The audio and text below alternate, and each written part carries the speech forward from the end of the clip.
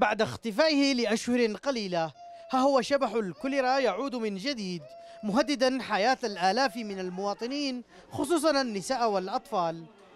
الآن ظهر المرض الملاريا الملاريا والكوليرا بشكل فظيع هنا. وأكثر الذي هنا آه، ما فيش هنا مركز للملاريا ولا للكوليرا.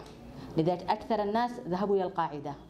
والقاعدة طبعا المخيم كبير. والاستيعاب إليه أكبر من الحاجة المطلوبة.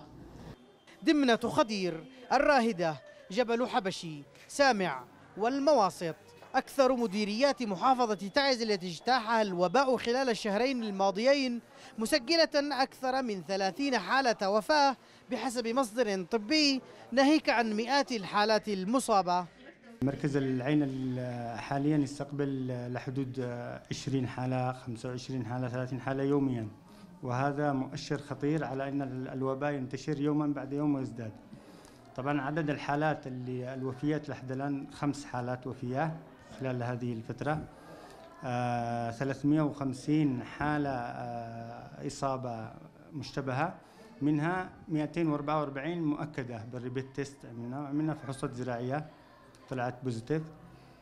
فنحن الآن نناشد جميع المنظمات ونناشد آه جميع الداعمين بأن آه، يتعاونوا معنا للسيطرة والقضاء على هذه الجائحة. ضعف الرعاية الصحية في الريف وافتقاد المراكز الصحية لأبسط الإمكانات الخاصة بالوباء يساعد على انتشار الكوليرا في هذه المناطق الأمر الذي يعقد من جهود مكافحة الوباء ويجعلها أمرا بالغ الصعوبة. بداية البرنامج جو أكثر يعني من 50 حالة. بس ما فيش يعني إمكانيات إن إحنا نقدر نغطي كامل الحالات هذه. وأنت عارف يعني كيف ظروف الشعب اليمني كله شيء كان سوى حمضنك ولا غيرها. يعني اشتو مساعدة كثيرة. وفي أصحاب الخير اللي هم يعني يحبون أنهم يفعلوا خير.